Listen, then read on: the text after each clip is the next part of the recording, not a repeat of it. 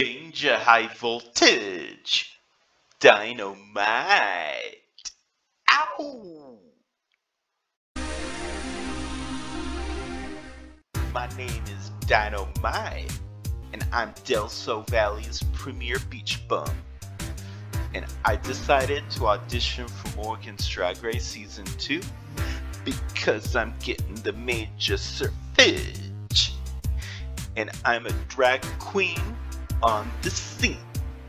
Sometimes people call me Megan because I kind of stole the name tag of someone named Megan. And they're like, hey, Megan. And I'm like, yeah. And then it just kind of fizzles. My favorite movie is Bio-Dome. Anything with Pauly Shore. Don't ask me why. I also like Mallrats. Malls aren't a thing anymore, but they used to be. Get some noshage. I do my own makeup. I wanna win, so I can ride the waves on the moon. Absolutely.